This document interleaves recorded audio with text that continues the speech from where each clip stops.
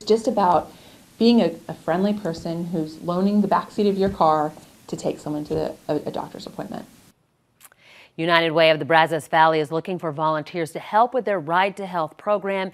And KRHD reporter Diamond Dixon is speaking with United Way to see how you can help out in the community. United Way of Brazos Valley is looking for volunteers to give rides and drive patients to local healthcare clinics in the area. Usually I have a busy schedule on like three days of the week, but on the ones that I don't, then I look over to the website and see if there's any appointments that I can pick up. Allison Prince is the president and CEO of United Way of the Brazos Valley. She says Ride to Health was the answer to many people's concerns of making it to their doctor's appointments.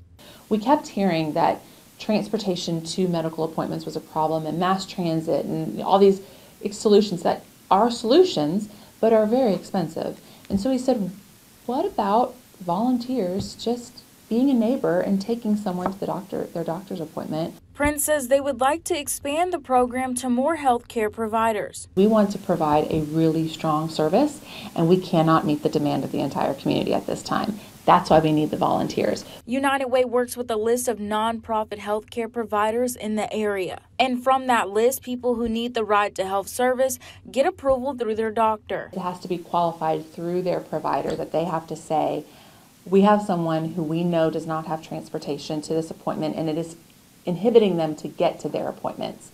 Um, and so we would like to request that they be enrolled in Ride to Health. Prince says all Ride to Health volunteers must pass a background check and will have to maintain a good driving record. DiMaggio says rides last half an hour at most. Driving the person from your house to their house to the medical center, it might take about anywhere from 20 to 30 minutes depending on where you live. DiMaggio says getting to talk to nice people has made him passionate about volunteering, and requesting a ride is simple. The person who needs help puts an appointment online on the website.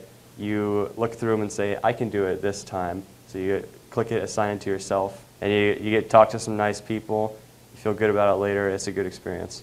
Well, if you'd like to learn more about becoming a volunteer for Ride to Health, you can visit KRHDnews.com for more details. In Bryan Diamond Dixon, KRHD News.